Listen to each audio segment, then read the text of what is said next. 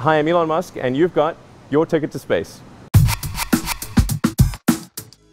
Here we are at SpaceX and we're getting ready to do our first mission to the International Space Station. I started SpaceX with the goal of ultimately colonizing Mars and we've, we've made progress along that way. We first built a small rocket called the Falcon 1 and then we built a big rocket called the Falcon 9 which is a million pounds of thrust. On the upcoming mission we're going to be sending our Dragon spacecraft which is a robotic space freighter that will automatically dock with the space station transfer cargo uh, to the space station and bring it back to Earth. This is a precursor to uh, the, the, version of Dragon that will carry astronauts to the space station, which will be launching in about three years. We want to keep improving the state of technology, including trying to achieve uh, what is the holy grail of rocketry, which is a fully uh, and rapidly reusable rocket system. That's the critical breakthrough that's necessary to enable anyone to go to space if they want. I think we can make the cost of moving to Mars less than half a million dollars. I'm highly confident it can be done in, in say, let's say 15 years and absolutely 20 at the outside. Initially, trips to Mars would take about six months, which is about what it took to go from, from uh, England to Australia in the old days, so it's not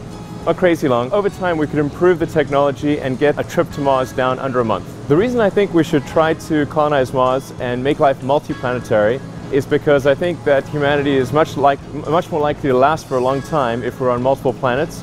Plus, the future is much more exciting if we're out there as a spacefaring civilization, exploring the stars. Long term, I would like to move to Mars. I think it would be great to uh, be born on Earth and die on Mars, uh, just hopefully not at the point of impact.